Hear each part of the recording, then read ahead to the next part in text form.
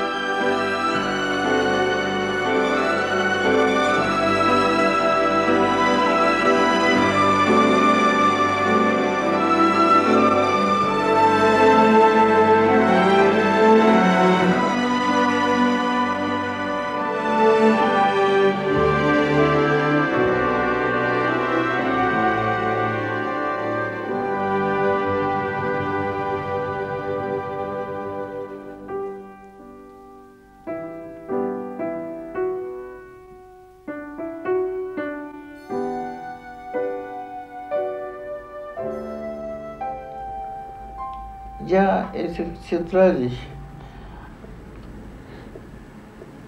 никому, кроме старшего сына, не показывал.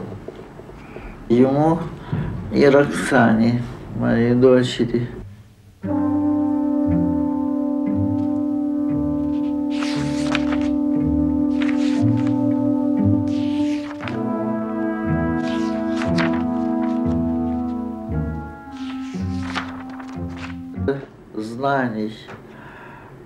Мне эти тетрадки. Ну, я давала ему читать, но так из рук в руки. Потому что есть какие-то сокровища, которые являются частью твоей жизни, которые для тебя настолько дороги, что они становятся почти неприкосновенными. Ну вот вы как-то усмотрели у меня в доме эти тетрадки, приходится об этом говорить. Дело в том, что я начала работать 14 лет. умеет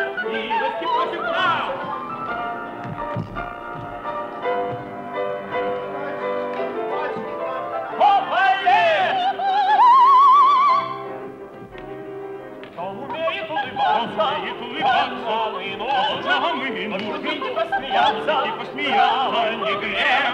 Всем прохожим на удивление, ай, вы постараться, приходите на представление, милости просим всех. Стоит ли торопиться? Мы потешим веселой песенкой всех, кто приходит к нам. Я начала работать 14 лет. И вот это графа образования, ну как его писать, недоконченное среднее или домашнее. Все равно же тут и Рахманинова встречала, и Шаляпин у нас дома пел, и Станиславский приходил, и Вахтангов. Это, в общем, была академия моя. Ну, конечно, потому что иначе получается ерунда. Попали в пустое место. А все-таки за партой я не досидела. И когда я оказалась в очень закрытом заведении, которое нельзя назвать учебным, но которое было большим испытанием для меня, моей воли и моих стремлений, я придумала, что каждая вновь пришедшая в нашу маленькую комнату, ее почему-то называли камера, а, нас было там 7 или 8 человек в самом центре города. Я в первую очередь спрашивала, не надо плакать, скажите, кто вы. Если женщина отвечала, что она работает в институте Менделеева, я ей говорила, пожалуйста, до конца. Устроила своеобразный театр одного актера. Я же должна была не распускать своей воли. И должна была учиться дальше.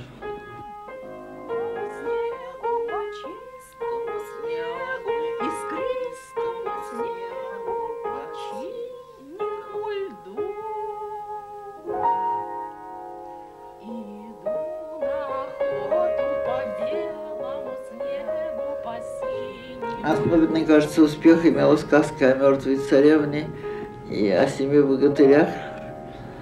Причем, когда за невестою своей королевич Елисей между тем по свету скачет, нет как нет, он горько плачет. Там есть момент, когда, наконец, он увидел, как во тьме печальный гроб качается хрустальный королевич Елисей, как он поцеловал мертвую царевну. Ах, и зарыдали оба. В руки он ее берет и на свет из тьмы несет. Нет, Израиль Акчевейцер совсем не был похож на королевича Елисея. Но почему-то, доходя до этого места, я каждый раз думала, но ведь это же будет, ведь он же меня разыщет. А я не знала, что в тот же день, когда и я, был арестован и он, потому что я его утром еще видела, а потом днем, значит, был арестован и я. И, конечно, я с ним никогда больше не встретилась. Но радость от того, что я могла людей, которые были в таком же горе, как и я, приносить радость словами Пушкина или Грибоедова. Она помогала мне верить, что наступит день, когда я смогу сесть за парту и в графе образования написать, если уж не высшее, то среднее –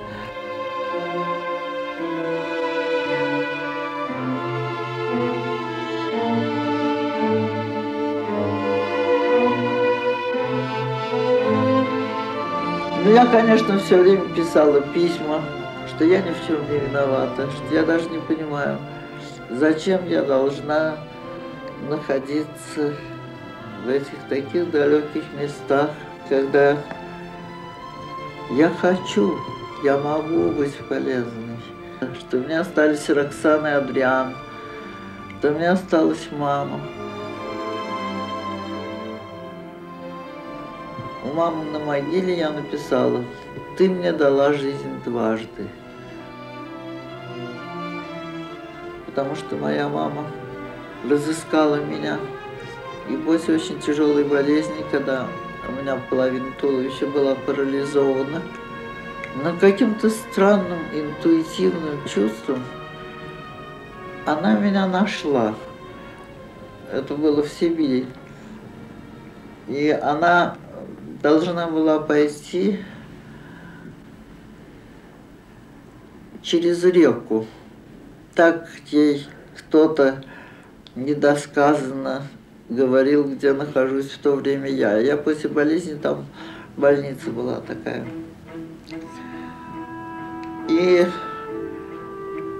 когда мама переходила реку, это была весна, она несла большой чемодан с продуктами – Река тронулась. Мама плыла на льдине, но она все-таки доплыла, нашла меня. И вдруг я стала богаче всех царей, миллионеров. Мама принесла мне чемодан с продуктами. А после перенесенной болезни это для меня было очень важно.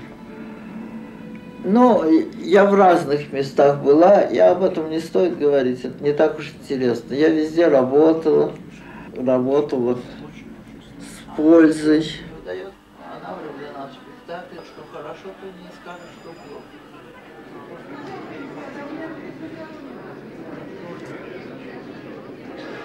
Она такая крошка. Это я всегда считаю высокой. А потом я сейчас же начала там ставить спектакли. Беспреданницу, без вины виноватые. Но вот именно в тех лагерях я особенно много писала. И вот я писала. О чем я писала? Мне вернули эти тетради. Я за это бесконечно благодарна. Вот тут шесть тетрадей писала я мелким почерком, потому что я понимала, что это огромная ценность иметь право писать и читать, и быть одной. Мысли тяжелые. Ну, а зачем на них сосредотачиваться? Раз я не могу ничего изменить, значит, я должна воспользоваться тем, что есть. Вы скажите ему, что я его очень прошу, я знаю, что он уезжает, чтобы он мне уделил 10 минут. А, и вы позвоните сейчас. Спасибо большое.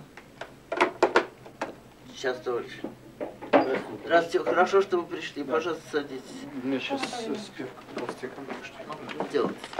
Оля, будет сейчас звонить Эрман из художественного театра. Меня сразу соединяйте. Прям чтобы не было, прямо прерывайте. Так. Друзья, э, мы, значит, собрались сегодня для того, чтобы взглянуть на эскизы к спектаклю «Время тает снегам». Спектакль, который мы готовим к 70-летию, к которому мы относимся с трепетным желанием сделать его как можно лучше. Значит, мы попытались все это сделать воздушнее, пространственней. А, Я избавился от а, симметрично расположенных, как кулисы, гор. Вообще, по-моему, в этой картине симметрия – это абсолютный бич. А Вот эти горы или можно сделать по принципу жалюзи, когда они вдруг вырастают из-за этих станков скал. Я перечитала раз 10 это произведение. Я его играла на рояле, я его читала, и сегодня даже перед встречей с вами еще раз заряжалась этой музыкой. И вот это такое интересное второплановое решение символа происходящего, как борьбы зла страшного шамана с скорбью угнетенного дикого народа. То есть я представляла это гораздо более живым и действующим. Вот эти маски для меня никак с идолами не ассоциируются. Это я не понимаю, что это. Это елка или что это. Я не понимаю этого. Это я тоже не понимаю. Это маска э, смеющегося и плачущего актера.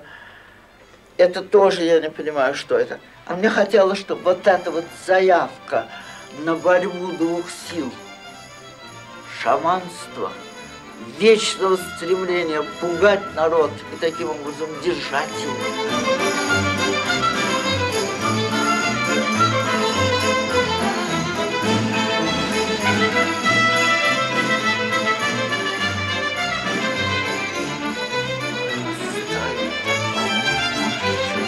Скала. И тогда вот эта скала.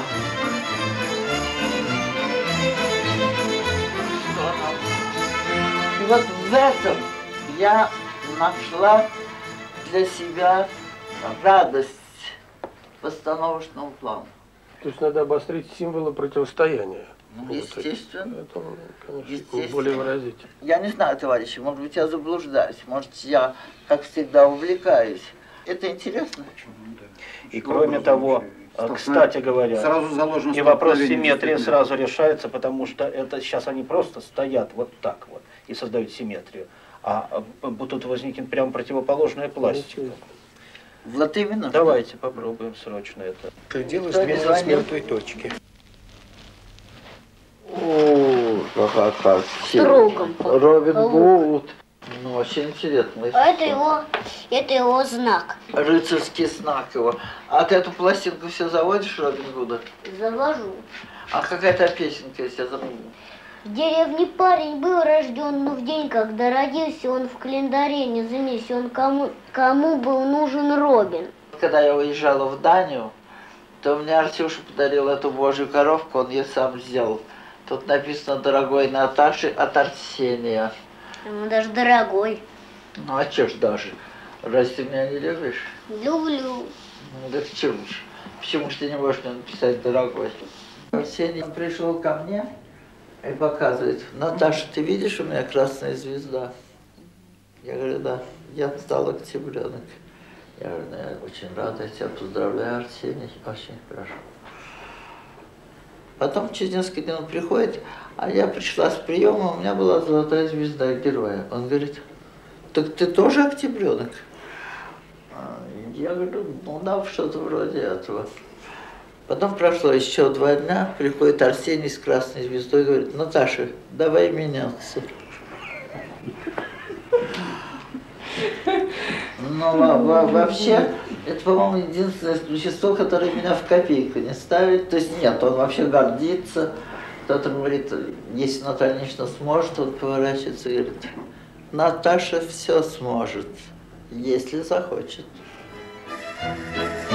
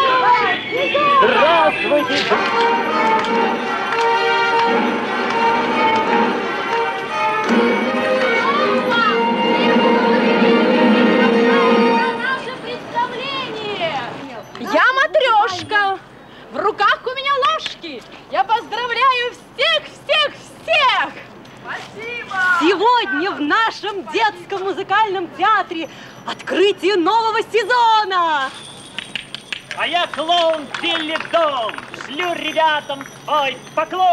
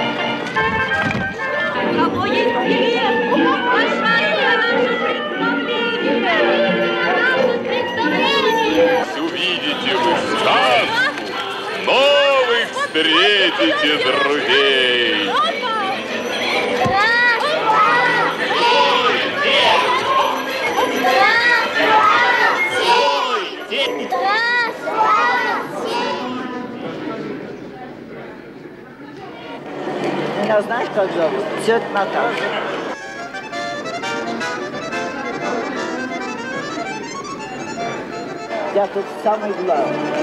Наталья Садовна, слышали? Нет?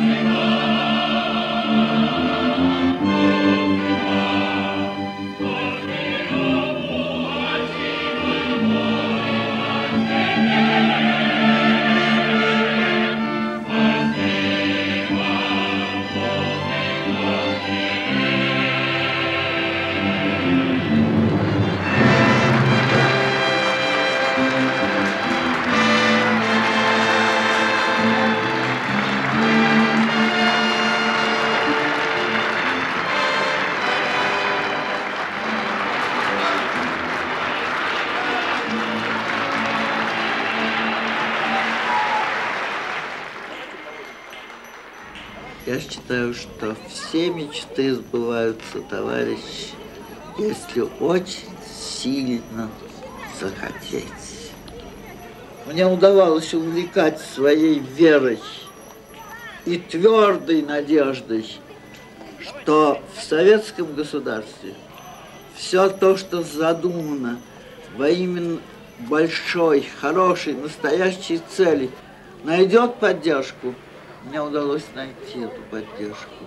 Вы верите в свое дело. Вы вот меня заставили сейчас разговаривать, когда мне нужно как можно больше молчать. В таких случаях нам приходится что-то делать. Вот дай Бог, чтобы вы сейчас от меня ушли и уже не доконали меня за сегодняшний день. Уже и то будет хорошо. Он приносил нам бюллетень, когда бывали елочные каникулы, потому что он хотел под Дед Морозить. Из него получался хороший Дед Мороз. И чем получать свое жалование, так лучше под Дед Морозить 30 раз и получить три жалования. Но ведь от этого театр не должен страдать. Все-таки надо же уважать то место, где ты находишься. Некоторые на меня обижаются. Вот когда начал художественный театр прихрамывать, когда главные артисты перестали играть в народных сценах. А народная сцена для советского театра – это очень важный момент. И у нас в театре нет хора. У нас наши солисты должны играть и большие роли, и маленькие роли – и всюду звучать одинаково. И никаких отпрашиваний. Мы не можем делать этого, потому что оно нарушается главное – коллективизм, ансамблевость.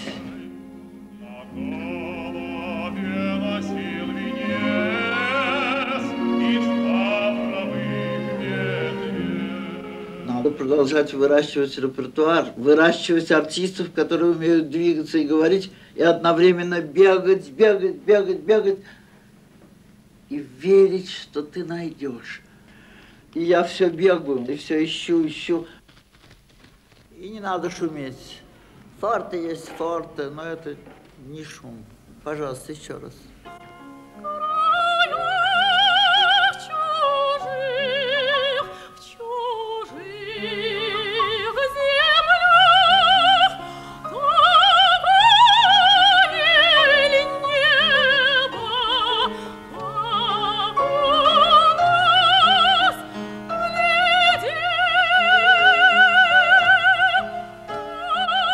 Спасибо большое. Вы свободны. Пожалуйста, следующий.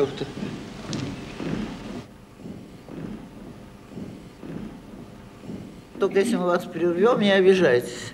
Потому что когда для нас ясны вы, само произведение мы, конечно, знаем, тогда, значит, мы вас не будем больше затруднять. Пожалуйста.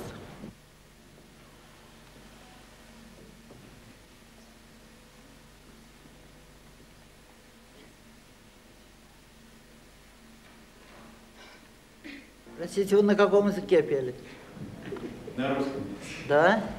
А я ни одного слова не разобрал. Я думал, что может это какому-нибудь из языков, которого я не знаю. Дикция это очень важно. Пожалуйста, следующую вещь спойте так, чтобы я поняла, что это за язык. Вам надо стать более гибкой, более мягкой, более коварной. Вот вы к показу подумайте об этом. До свидания, спасибо. Пожалуйста, следующий.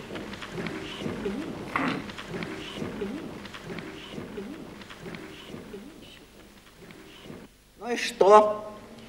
Ну и что? Сколько попадает пустых лотерейных билетов на один выигрышный?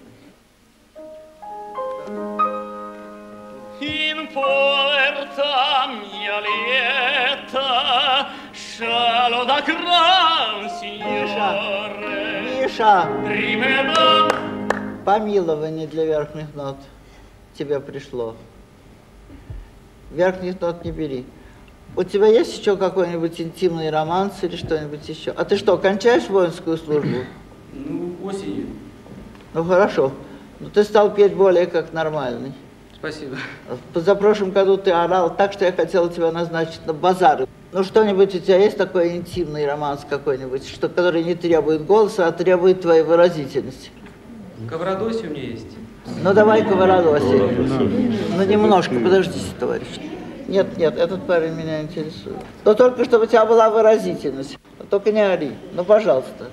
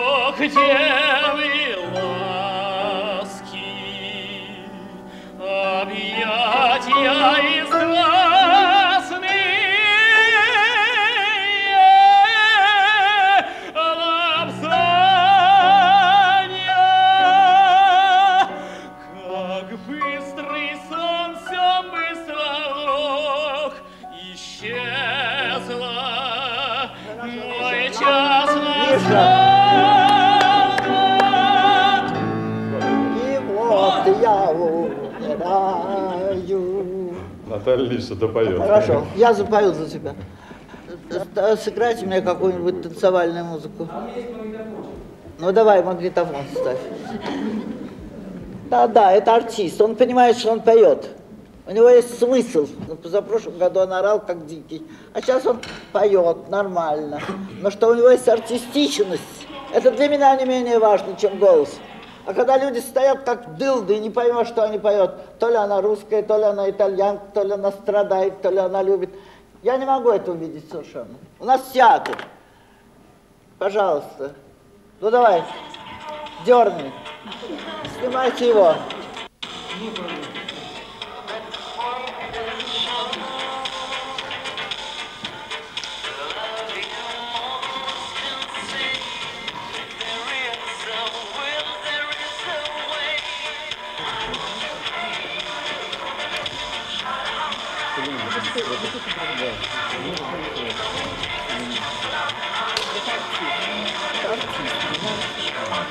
даете восковые фигуры. С плохо поставленными голосами. Я надолго быть не знаю. Но не чувствую, что как он испытал. Это занимается как отсюда, остальное. В этом случае у нас нельзя быть Да ну что вы,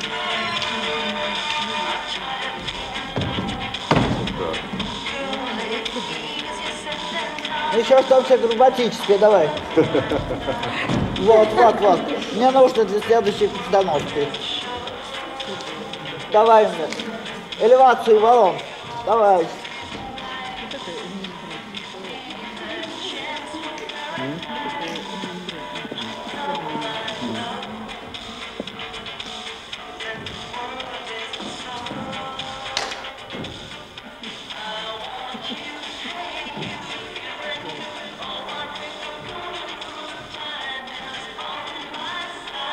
Хватит, ладно. Спасибо. Не пой по три концерта сейчас. Дури голова. Я солдат приказан. Ты уже кто? Генерал или еще пока в офицерах? Я самое высокое звание в армии. Какое? Рядовой. Ну молодец.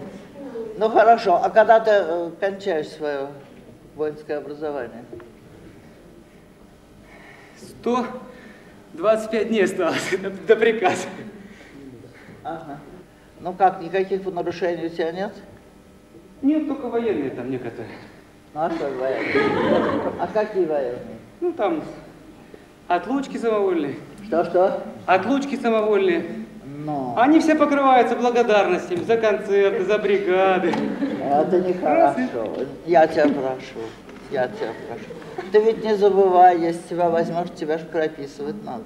А в Москве с самовольными отлучками не прописывают. Все же мы смертные, все допускаем ошибки. Нужно оркестровать. Только, Мишенька, разговаривай почтительно. Представь себе, что ты рядовой, а я, скажем, ефрейтор. Так разговаривай со мной в таком тоне. Ладно? А то я не люблю, когда ты Я чуть- доверительный. Миша, технические вопросы потом выясним. Сейчас принципиально надо. Ну хорошо, зацепляйся и не разменивайся никак, ни в личной жизни, не пьешь? Нет, этим я не страдаю. Никогда не страдал, никогда. Не скажешь, ну хорошо, ну ладно, все. Ничего, сегодня впечатление более-менее благоприятное, как я вижу по лицам комиссии. Я-то одна, ты понимаешь, не могу. Коллективизм. Но я на всех смотрю. Видишь, даже сама Свербилова улыбается. Ну хорошо, все.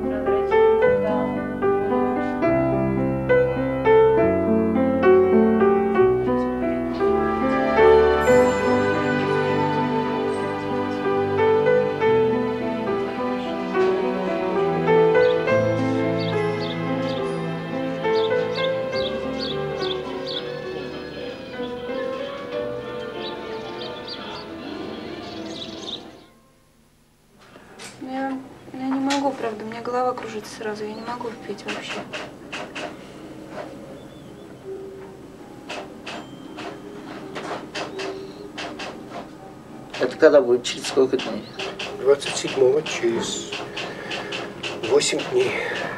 Ну, так за 8 дней ты поправишься. Молодая, красивая девушка. Ты вот не расслабляйся чересчур. Я не смогу просто петь, конечно. А у меня такое впечатление, что ты вообще не любишь петь. Ты знаешь, э, дирижер показывает вступление оркестру, и скрипач морщится. Потом он показывает э, кульминационный пункт, и скрипач морщится. В конце дирижер подходит и спрашивает, скажите, пожалуйста, я плохо показываю? Да нет. Вам нравится музыка? Нет. А что же морщитесь? Я просто с детства не люблю скрипку. Ты знаешь, у меня такое впечатление, что ты придешь и скажешь, что ты с детства терпеть не можешь петь. А что, у тебя было сильное сотрясение мозга? Да, сильно. Ты сколько лежала в больнице? Три недели. Я неделю лежала в реанимации, а потом в палате. А неделю в реанимации? А сколько в палате? Четыре дня в реанимации, потом меня перевели в легкую реанимацию, а две недели в палате. Но спишь ты сейчас достаточно? Сплю, да. Ну, а вообще, когда ты собираешься начинать действовать? Скажем, козленком, когда ты можешь быть? Ну, козленком могу быть. А этой мимишей? Могу. Ну, как же я тебя вывезу в Америку, когда ты не можешь петь? Хотя бы месяц оклематься, Наталья хотя бы месяц. Через месяц отпуск. Я. Ну Остался что? один спектакль Часан. Что делать? Ну, а что мне делать, Игорь Борисович? У меня, вы не представляете, я, меня вот выписали, просто не имеют права меня больше на больничном держать. А у меня еще 100 уколов впереди, 100 уколов. Потому что у меня осложнение на ноги и на шею. Потому что у меня нерв задет. И глаз у меня правый, нервный тиф. Ты знаешь, я бы хотел иметь такие глаза. Давай меняться. Ну-ка встань. 100 уколов сделать надо. Сто. 100 уколов сделали, 100 уколов еще сделать, и еще Ты у ветеринара лечишься? Нет. Это коров только дают 100 уколов. Ну что делать? Чтобы осложнений не было. Потому что у меня шея растянута была на 4 Да сантиметра. это не шея. Там называется вертебрально-базилярный бассейн. Может быть, я не знаю. А у меня вместо этого бассейна лужа. У тебя, очевидно, тоже. Но я вижу, что ты действительно нездорова. Но что делать, я не знаю. Она, наверное, не сможет бесчувствовать. Потому что э, при э, уколах дедуксена сосредоточиться для такой большой роли очень трудно. Но мы оставим этот вопрос открытым. Ты поправляйся, не волнуйся, к тебе относятся хорошо. Но э, старайся набираться духу. Ты молода, жизнь надо завоевывать. Без своей воли ничего не получится. Внушай себе, я здорова, я поправляюсь, все, что было плохого, прошло. Ладно? Вот завтра спевка по часам, потом мы еще вернемся. На спевке все, пожалуйста, приходи, все делай, потому что надо саму себя расшевеливать. От того, что после этих болезней самое плохое, это поверить, что ты уже ничего не можешь, и тогда действительно пропадает вместе с волей и возможность что-нибудь действовать. Ну хорошо идти. Так, ладно. Она действительно больна.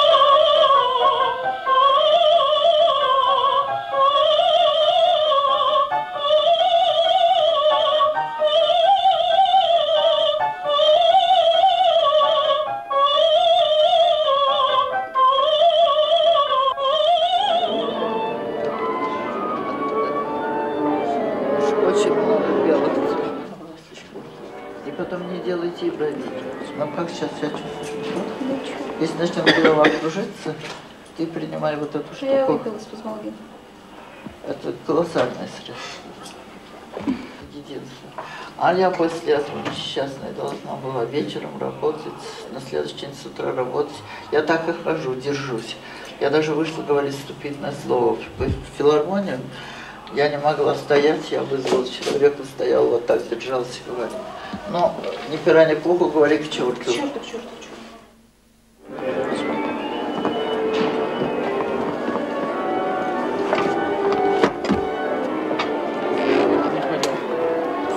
Вы там еще раз скажите. Начинаем?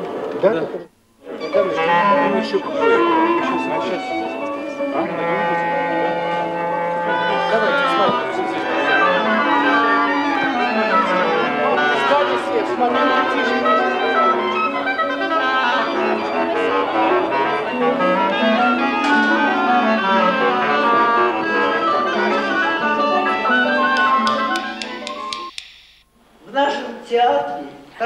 три театра.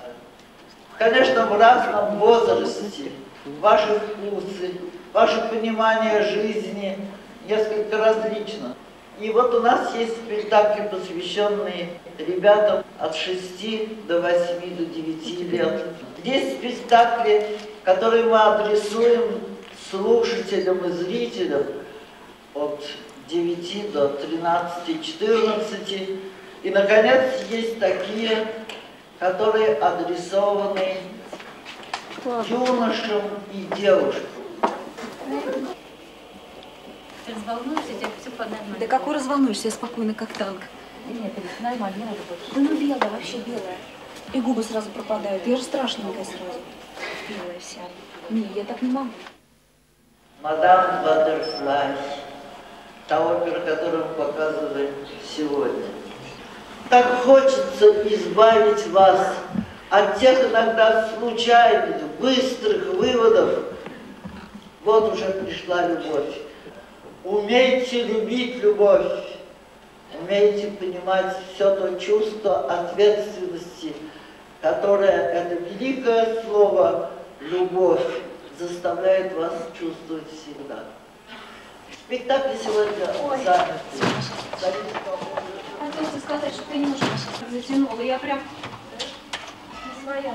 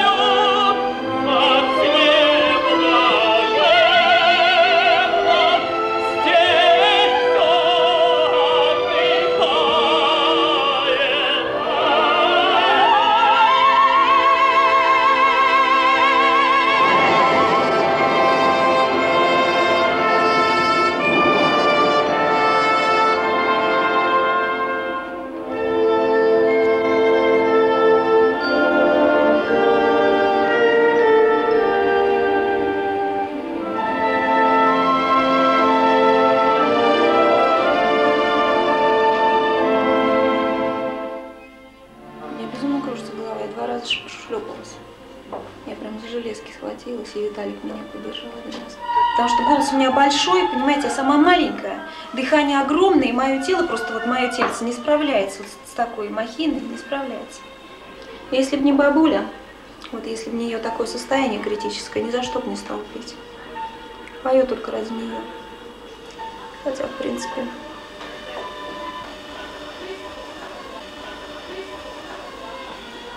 ради себя, наверное, тоже.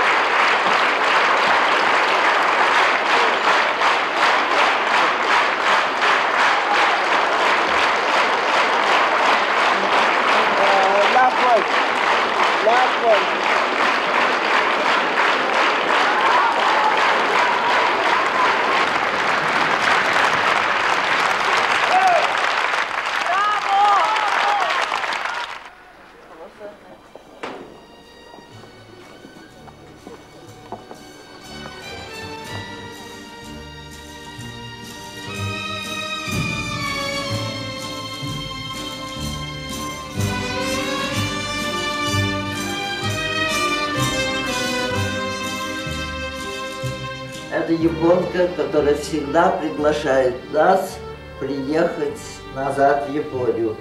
Мы там играли не только Петю Волка, но и Красную Шапочку, еще некоторые спектакли.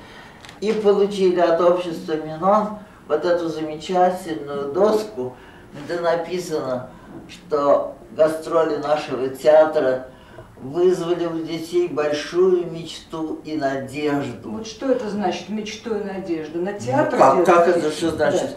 Мечту в жизни, Наташа. А надежду на что? Ну, подождите, ну зачем все в жизни расшифровывать? А, ну тогда Если расш-. Так вы еще хотите считальную машину подставлять под слово «надежда». Почему я должна лишить вас счастливого права довоображать то, что здесь написано?